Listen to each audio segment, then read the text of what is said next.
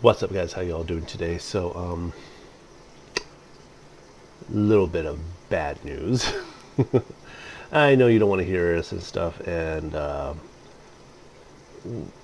basically, it's just cut to the chase. Um, my weight cut is going a little too well, and um, my coaches kind of sat down and talked to me and, and saying like with the whole Sergio thing, it's not the best idea to keep cutting the weight down the way I'm doing it.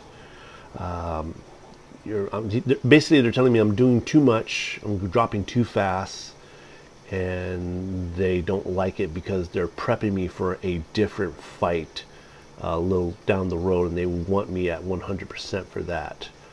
And um, they said I could still do the uh, fight at Street Beefs, but I have to fight at a heavyweight. Uh, so they want me to stop cutting weight that I'm doing right now, um, mainly because they did a lot of blood pressure. They took they took my blood pressure after a workout, and they compared it uh, from other times they did it. You know, this is something we, we these guys do, man. They really take care of their fighters. I make sure that everybody's in perfect health and stuff. And they say if I continue doing what I'm doing, I may do damage to my heart, permanent damage anyway. So they're saying, you know, we're, we, they've seen the signs of this happening before, so they don't want to get one of their guys totally out of fighting because they overpushed themselves. And they said, I'm pushing myself way too hard. So I can't cut weight anymore, so I have to fight at heavyweight. So I'm probably going to fight around uh, 230, around there. They want me to literally stop cutting, and uh, I ate a bowl of rice today because uh, I miss rice. I was like, well, don't can't cut away anymore. I might as well have some rice, you know. Uh, so that's where I'm out at.